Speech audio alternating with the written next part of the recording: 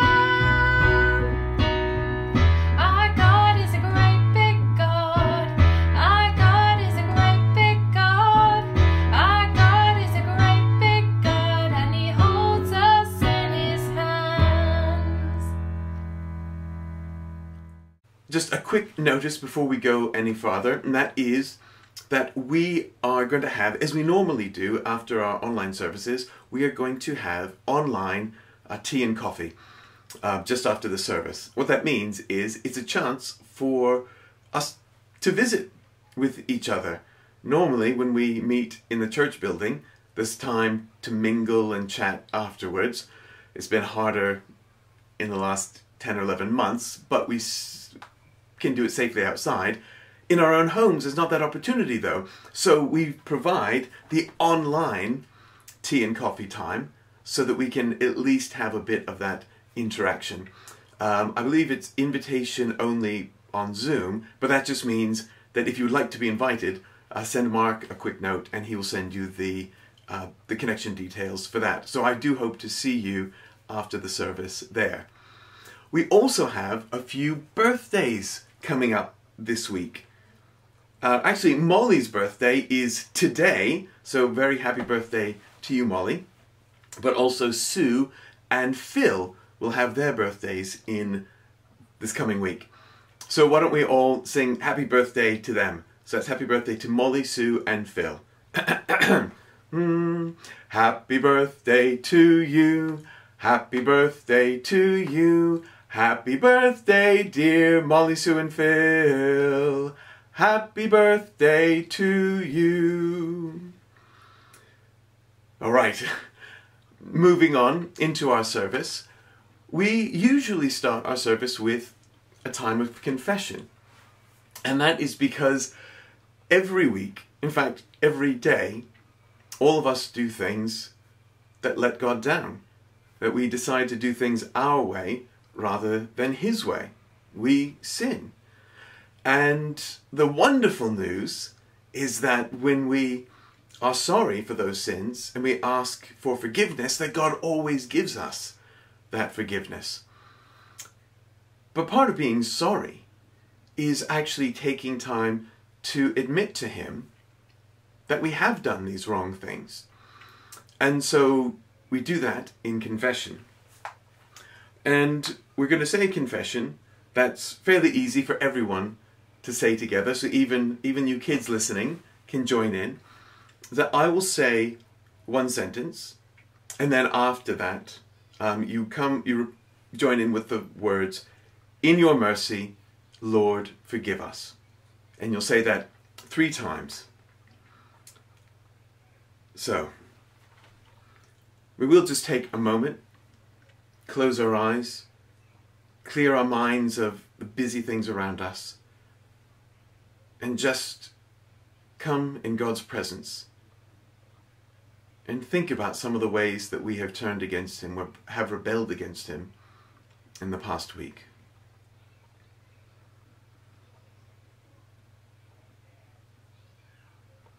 Lord God, for our actions which have angered you, in your mercy, Lord, forgive us. For our words which have offended you, in your mercy, Lord, forgive us for our thoughts which have betrayed you. In your mercy, Lord, forgive us. May God, who loved the world so much that he sent his Son to be our Saviour, forgive our sins and make us holy to serve him in the world through Jesus Christ our Lord. Amen. Well, I'm now going to turn things over to Rachel, who has a children's spot for us this morning. So, take it away, Rachel. Good morning. Now, I wonder who watching has got an older brother or sister.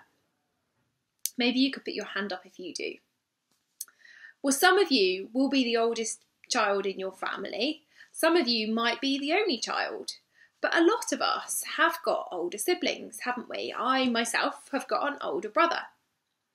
Now, one of the things about having older brothers and sisters is that often they get to do things first. And you'll know that sometimes that is really annoying when we want to do it and we're not allowed, but our older brother or sister is allowed. But I think sometimes it can also help us. If we're a bit nervous about doing something, it helps to know that our brother or sister has already done it and that they managed okay. Now, I've got some pictures now of some of the things that our older siblings do first. Have a look at them and see if maybe you can relate to some of them. Or if you're the older brother or sister, see if you can remember doing them for the first time. So we've got going to school, learning to drive, having a sleepover, learning to ride a bike, getting a mobile phone, staying up to watch a TV show, getting a part time job, getting your pen licence, walking to school on your own, going on a ride or roller coaster. Well, keep that thought in mind as we look at two verses from today's Bible passage. Romans chapter 8, verses 10 and 11 say this And Christ lives within you. So even though your body will die because of sin, the Spirit gives you life because you have been made right with God. The Spirit of God, who raised Jesus from the dead, lives in you. And just as God raised Christ Jesus from the dead, he will give life to your mortal bodies by this same Spirit living within you. This passage reminds us that because of our sin, our bodies will die. We know that, and we're hearing a lot about that at the moment with COVID, aren't we? But even though our bodies die, God's Spirit gives us life when we're forgiven through Jesus, and we heard about that last week, didn't we? Now, I don't know about you, but even knowing that, the thought of dying does make me a little bit nervous, and maybe you feel that way too. But in verse 11, we're reminded that Jesus has already died and been raised back to life. He is like the older brother or sister who's gone ahead and done it first. And verse 11 says that the Spirit of God who raised Jesus from the dead is the same Spirit who lives in us. So just as God raised Jesus from the dead, he will raise us and give us life by his Spirit in us. Isn't that an encouraging thought for us when we feel nervous? Jesus has gone there already. He's done it already. So we don't need to worry. For any children who are watching into the service, I wonder if you'd like to draw something during the service. Could you draw a picture of an empty tomb to remind us that Jesus has already died and been raised to life. And maybe we could write this verse in the opening of the tomb to remind us of that and to encourage us this week. Thank you, Rachel. That is a great idea for a children's challenge for you to draw pictures of Jesus' empty tomb. So he, the tomb where he's buried, but he's not in it. Because that's part of the great news of Jesus, is that even though he died for us, he didn't stay dead, but he came back to life and he lives with his Father in heaven right now. And someday he'll come back to lead his eternal kingdom, and we can all be a part of that. Uh, we had a children's challenge last week as well. You may remember that last week we were talking about starting the new year, rejoicing in forgiveness. As I mentioned at the start of the confession, that whenever we tell God that we're sorry, He always forgives us. No matter what we've done, no matter how bad it may seem, He always forgives everything, which is a real reason to rejoice. And so some of our young people drew pictures of themselves rejoicing. We'll take a look at these right now. And then we are going to follow up with another song. And I hope the children will stick around for this song before you go off and draw your pictures of the empty tomb because this is a song of celebration. It is called Jubilate. And Jubilate basically just means celebrate, rejoice. And it is a just a wonderful song for getting up and dancing around the room to. So no matter how old you are, I, if you're able to, I encourage you to, to get up on your feet and dance around the room singing Jubilate.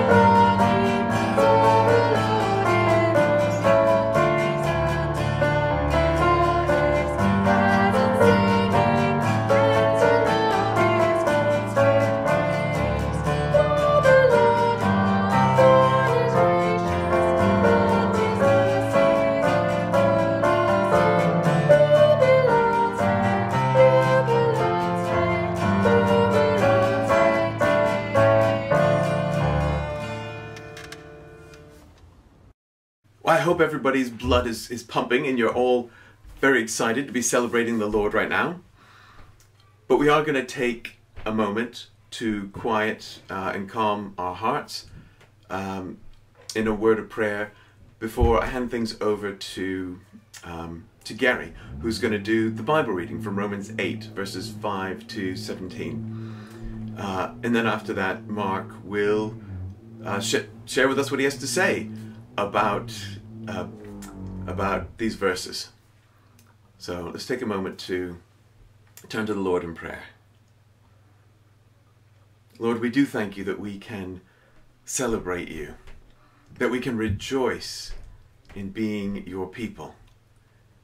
Lord, thank you that you speak to us through your scripture today, just as you have spoken to people for thousands of years.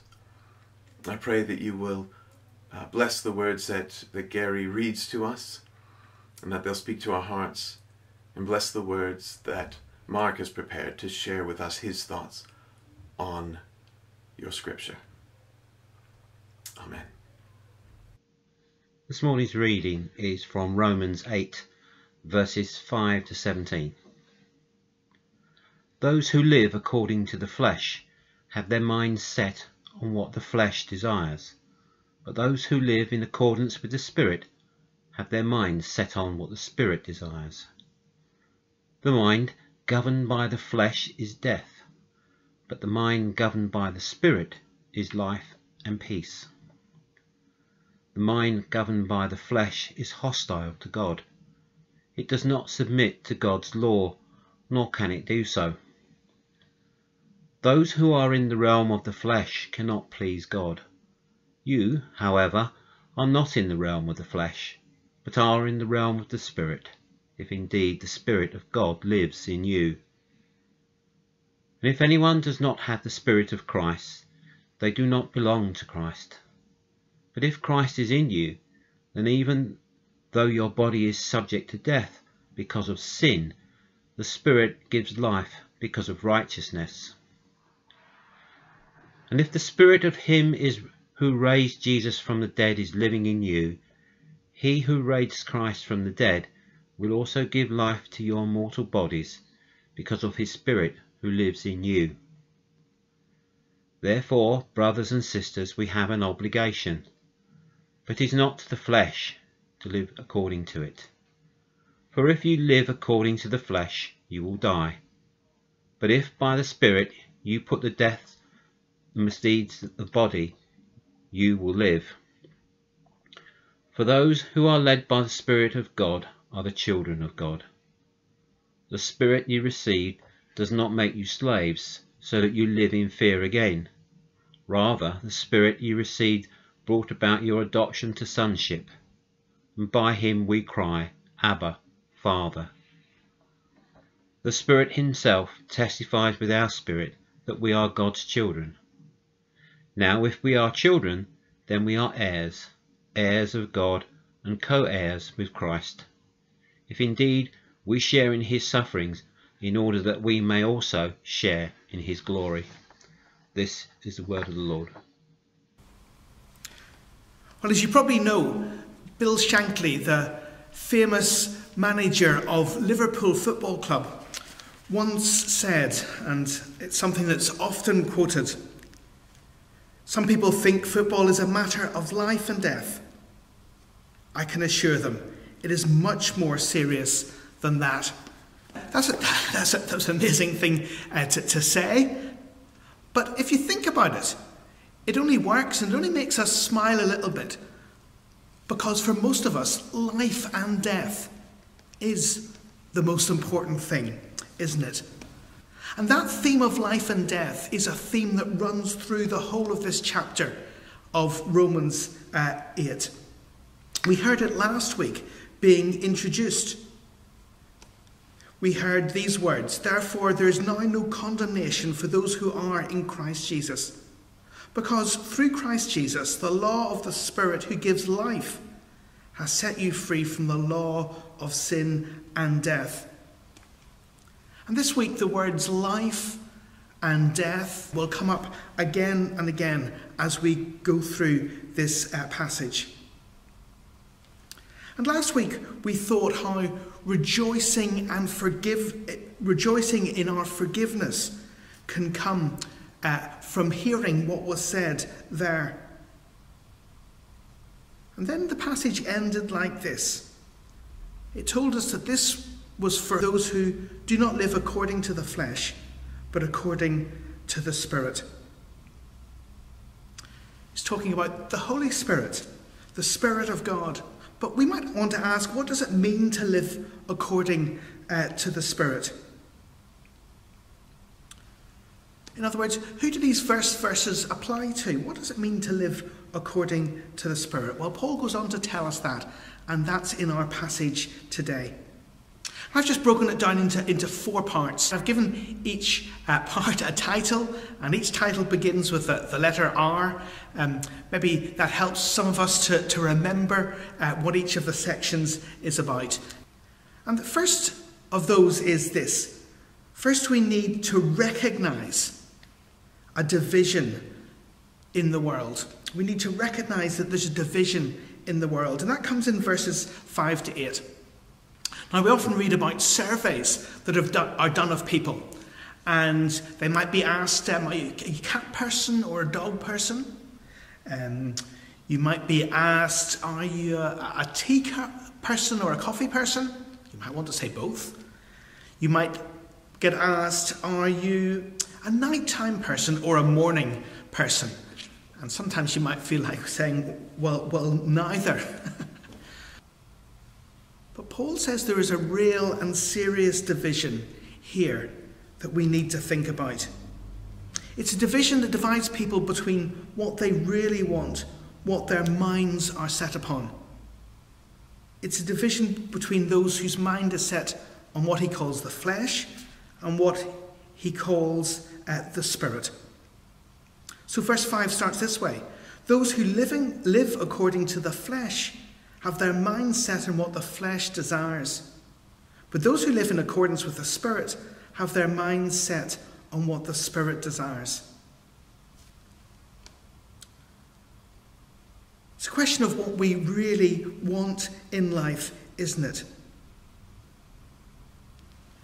Paul uses the word flesh here for, for our human existence uh, without God, without any reference to God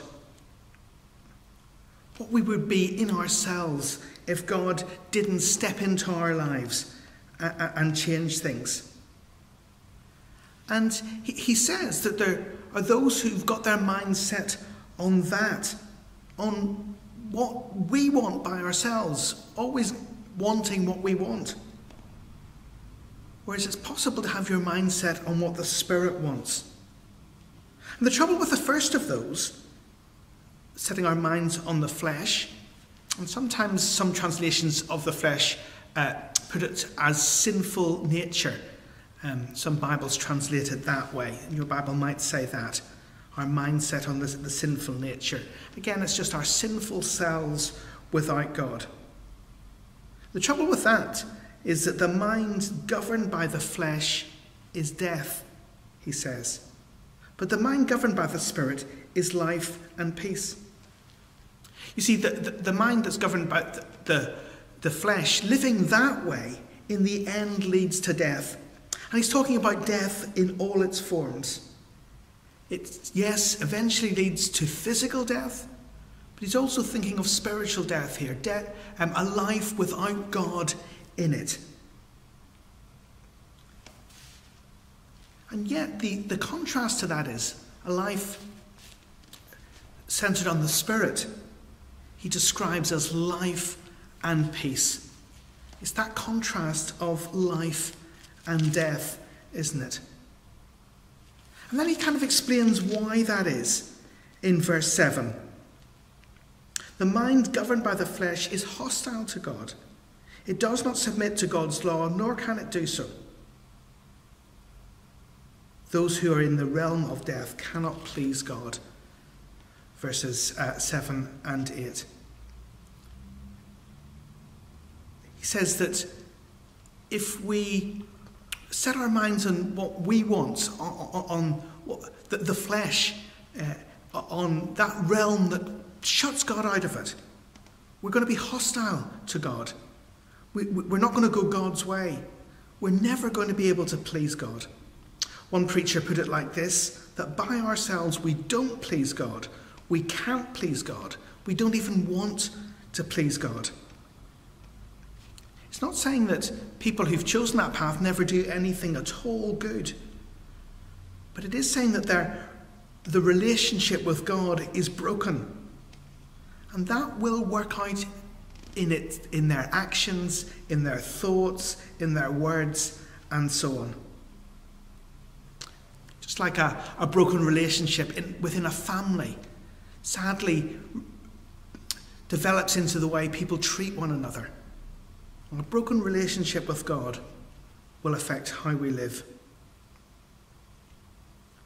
So there is a, a division in the world.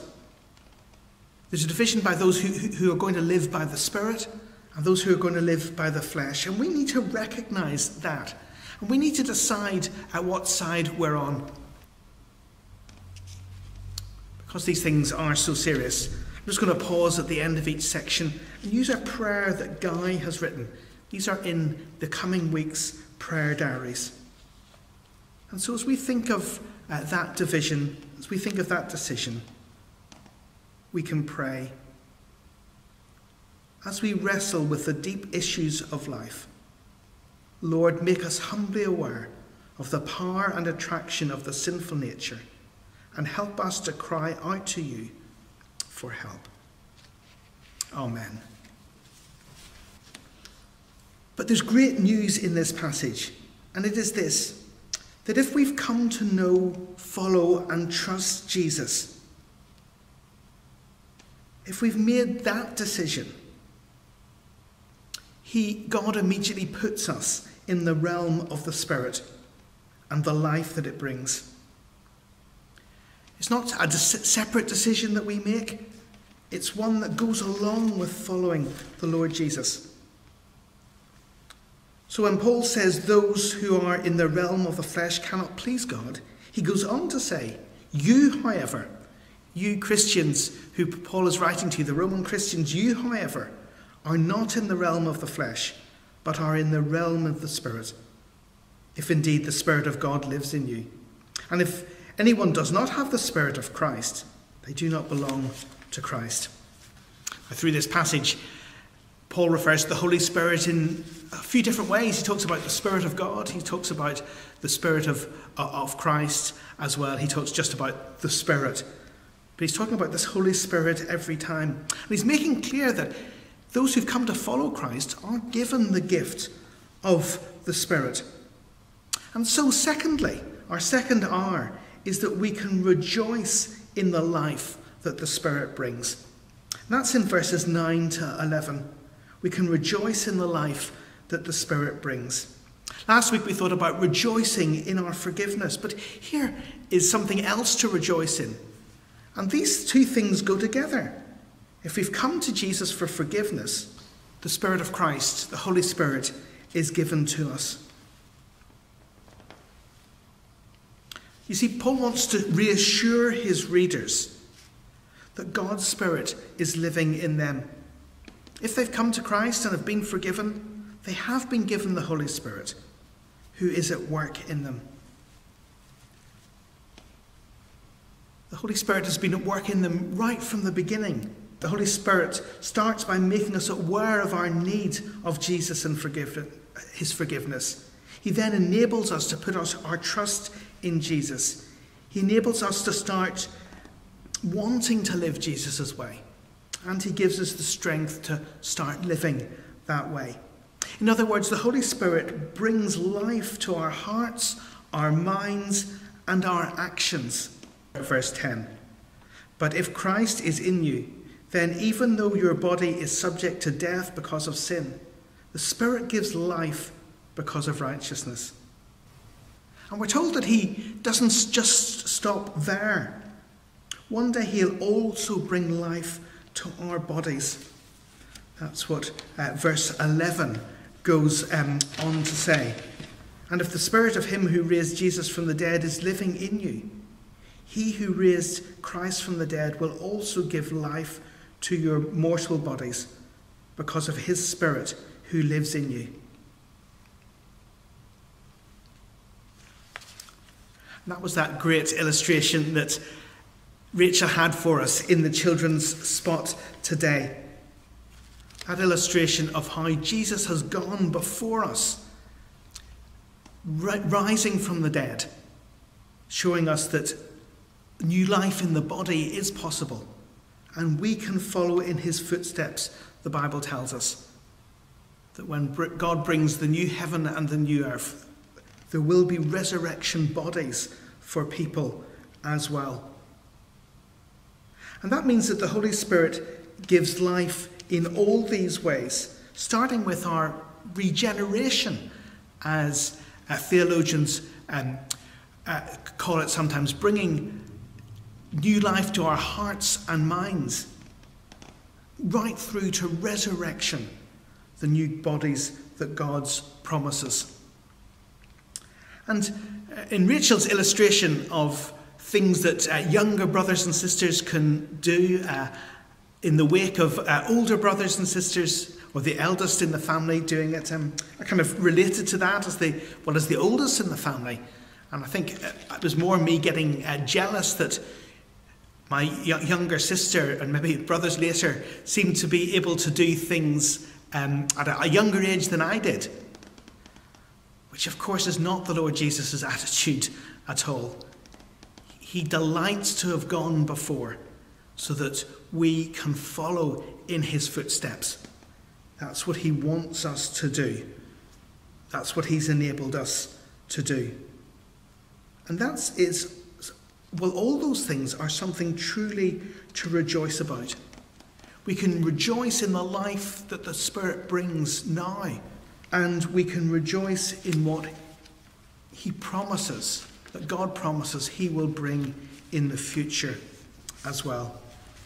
And so we once again pray one of Guy's uh, prayers together.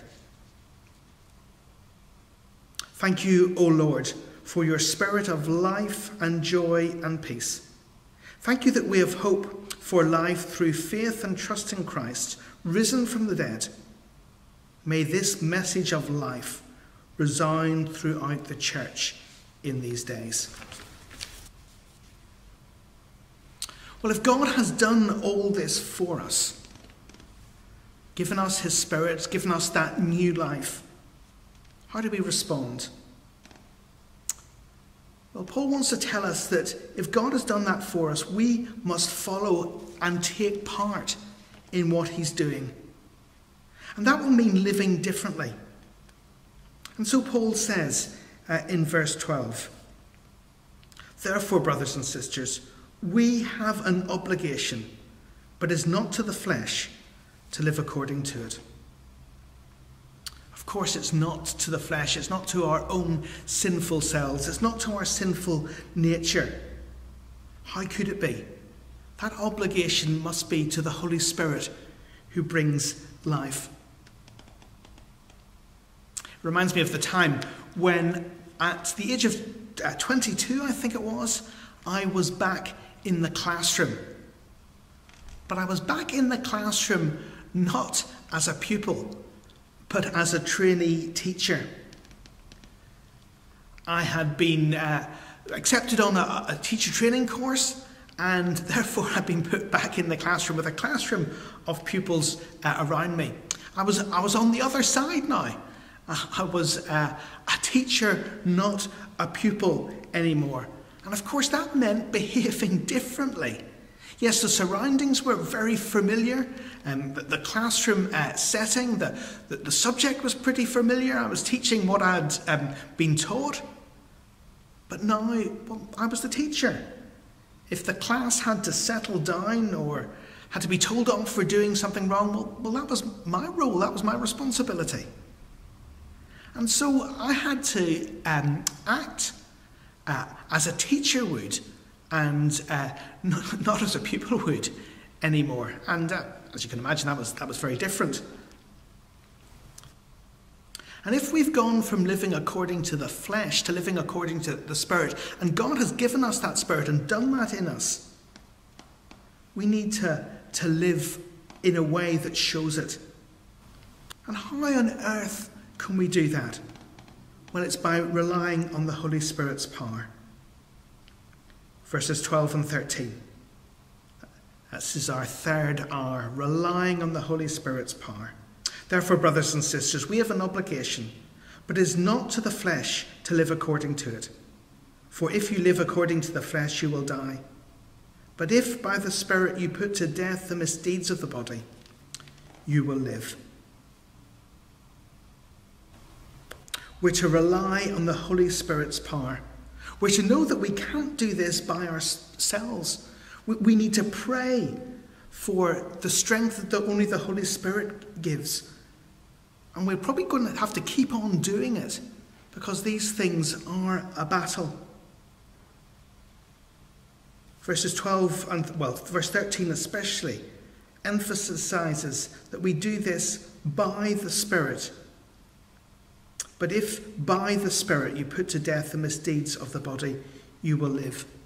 And I think it's talking to those moments of decision that we have to make. Uh, when we have a choice in our actions, are we going to uh, d- decide to go the Spirit's way and put a, a, aside what we want in our own selves? Um, am I going to retaliate when someone uh, is nasty uh, towards me? Am, am I going to do something I know that the Bible says I shouldn't do? With our words as well, am I going to say that uh, thing that I know will hurt or, or going to hold myself back? Am I going to think in that way that I know God doesn't want me to? Or am I'm going to think in the way that the, the Spirit wants? Those moments of decision, we're told to, to, to put to death the, the, wrong way and to live God's way. How we live needs to fit in with who we are, who God has made us. And that leads us to another prayer of Guy's. We can pray. Lord, we confess that we are often tempted to live according to the sinful nature and to take the broad and easy path which leads to death. Give us by your Spirit the strength and the desire to take the narrow path which leads to life. Amen.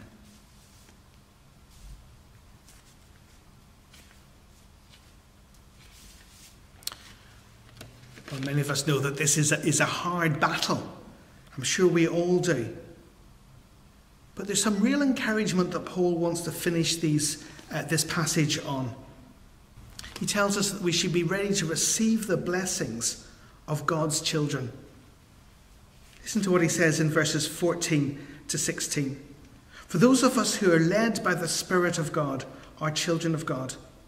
The Spirit you receive does not make you slaves so that you live in fear again. Rather, the Spirit you received brought about your adoption to sonship. And by him we cry, Abba, Father. The Spirit testifies with our own spirit that we are God's children. You see, if God has given us the Holy Spirit, if we want to live by the Holy Spirit, we have the assurance that we're God's children. And with that come many blessings blessings that we can receive, blessings that we can use and put into practice. In fact, there's no other better way to live. We're not any more slaves to fear. Imagine being a slave in a, a Roman household without the, the, the certainty of the future. But imagine being adopted into the family. And here it's adopted into God's family. Becoming a real child of the family. What a blessing. Being able to call the master of the family Father, just as Jesus did. Abba, Father.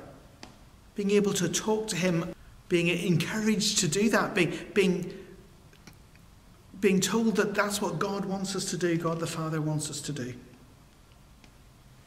And not just this, being adopted as a child in those circumstances must have been amazing.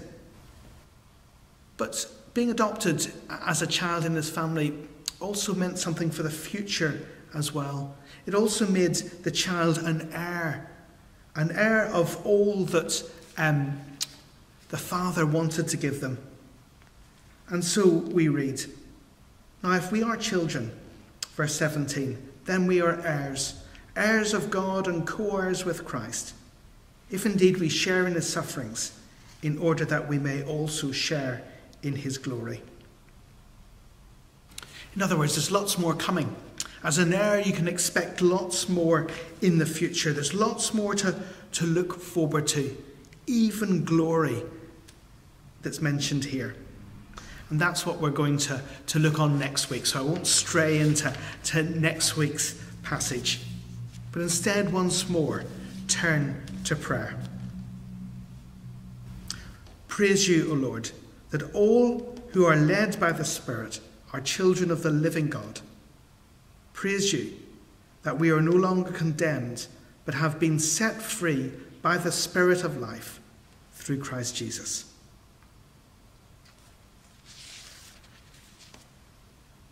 And so, to summarize, just these amazing verses those who live by the Spirit, what will be true of them? What will be true of us if that's going to be our way of life? Well, we'll recognize the, the division that there is in the world between living by the Spirit and living uh, by the flesh. We'll recognize that division and made that decision that we want to live according to the Holy Spirit. But we'll also rejoice in the new life that God's Spirit brings and will bring in an even greater way in the future. And we'll want to rely on the Holy Spirit's power as we want to put to death those things that no longer belong to this new way of life. And finally, we want to receive the blessings of being a child of God. Blessings that include being able to speak to our Father in heaven, and blessings that will go on far beyond. Let's recognize the division. Let's rejoice in that new life. Let's rely on the Holy Spirit's power. And let's receive and be ready to receive the blessings of being a child of God.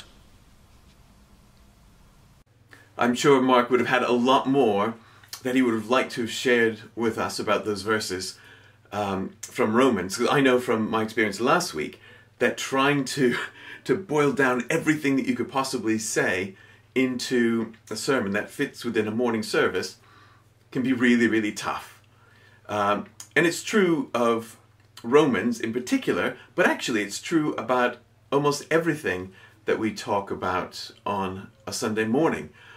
There's so much that we can look into and share and explore in the scripture that it's almost like we, we just don't have enough time to do it. And some of you may feel the same way. Some of you may wish that there was time to dig into some of the, the questions in the scriptures a bit more. And if you're one of those people, then I have the solution for you. One solution for you, which is our YouTube series, Ask a Pastor. Because that is a series where we are able to take time outside of a service like this to look specifically at well at a number of different issues, but specifically at things that you and people like you have asked me and asked Mark and asked Phil uh, to answer. And sometimes it's questions about faith, sometimes it's questions about the Bible. Um, we've already done a series on, on prayer. We've looked at a few times at what is a godly response to what we're going through right now. Um, we're also in the middle of looking at answering questions about the Bible. And if you have a question that you would like to explore more, if you send that question to me or to Mark or to someone, it'll eventually get to me, then I will do my very best in the coming months to, to answer that question. Um, and usually we can explore topics um, and questions in more detail in that setting than we can do on a Sunday morning like this, where there just isn't all that much time. Um, having said that, having uh, advertised that video series, we're going to move on to a song, which is a song that Mark uh, recommended as following on well from um, his thoughts on Romans 8. So we're going to sing together King of Kings, Majesty. And then after this song, Jan will lead us in our prayers.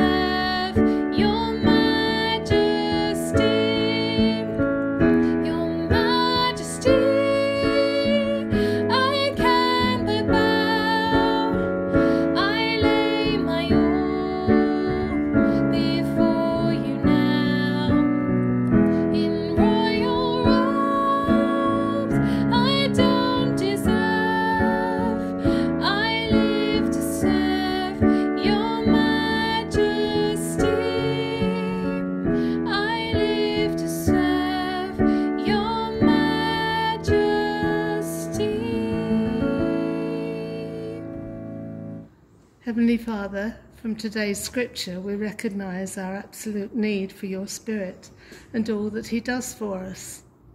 Comforter, counselor, helper, guide, advisor, advocate, intercessor, mediator, encourager, and so much more. He brings the truth of your word and your will for our lives. Help us, Father, to seek his power, wisdom, and guidance daily, so that we may truly live by the Spirit. In Jesus' name and for your glory, Amen. Loving Father, your Spirit also helps us to pray, and we bring before you now the needs of our church family, our nation, and your world. We continue to pray for your wings of protection against this COVID over us all, and pray especially for those who are struggling in this lockdown. We ask your healing touch for Sheila, Pat Higgins, Jim and Cherry, Rosemary Arnold, and all known to us who are suffering in body, mind, or spirit at this time. We name before you now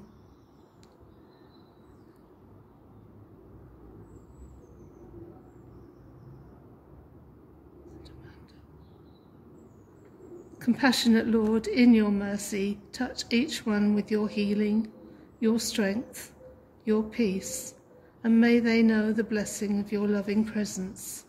Lord, in your mercy, hear our prayer. Lord Jesus, we now pray for all bereaved families. We bring before you all- our Bethany friends, and especially those who have inquired about Bethany and those who have contacted us for individual support during this last week. And Father, we remember with sorrow the milestone number of deaths related to the virus. More than 100,000 families mourning loved ones, and so many of them in our area. Loving Father, as we continue our prayers for Mike and his family, we name before you now grieving families known to us.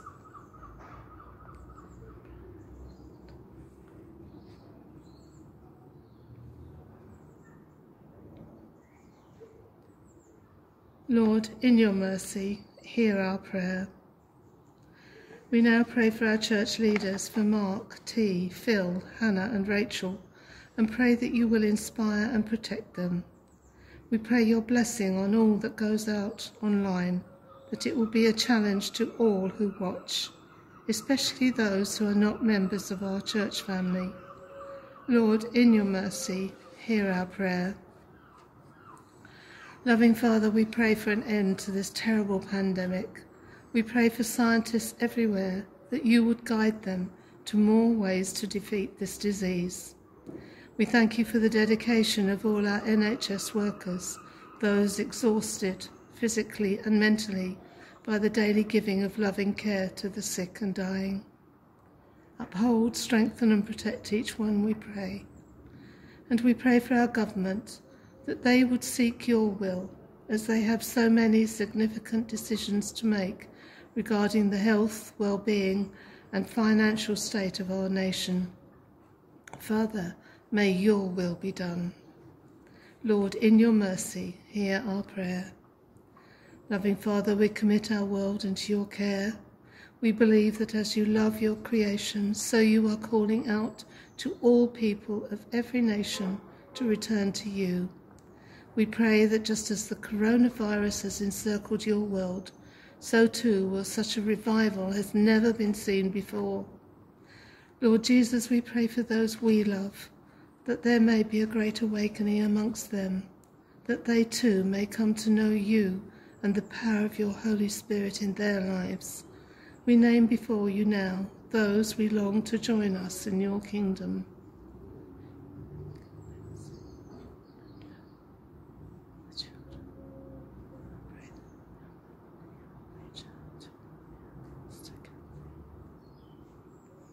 Father, may your kingdom come in their hearts.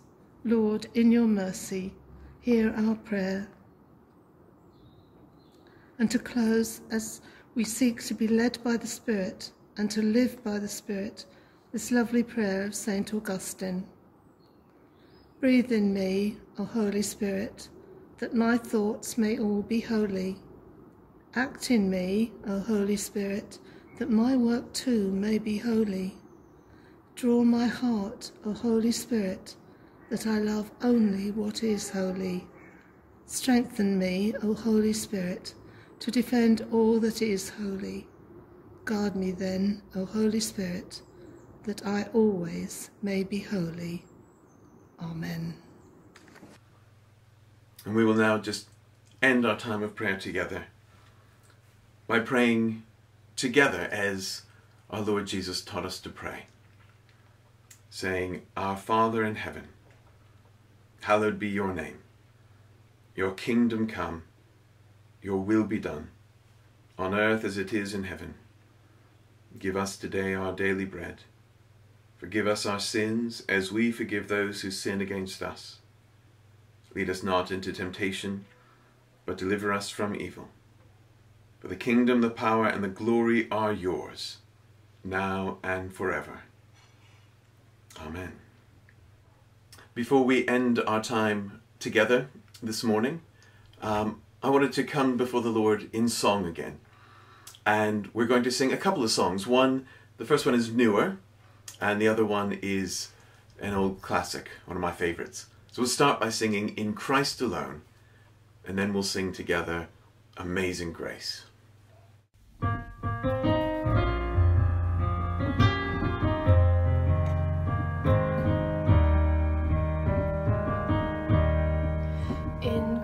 Christ alone,